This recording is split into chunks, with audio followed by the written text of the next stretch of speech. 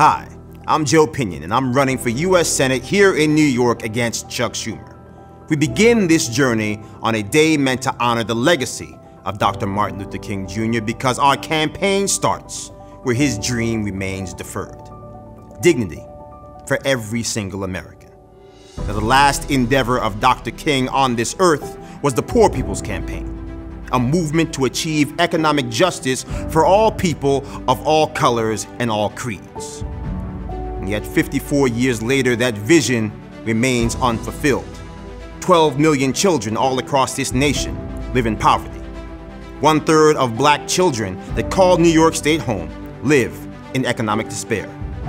All told, 37.2 million Americans find themselves struggling with the ravages of poverty And The time has come for us to rediscover what Dr. King called the fierce urgency of now.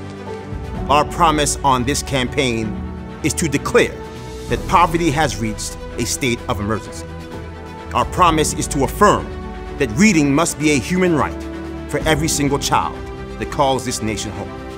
And our commitment is to insist that if America truly is the land of opportunity, that we must commit to closing the opportunity gap once and for all. See, our fight is not left versus right. It is right versus wrong. The time has come to rebuild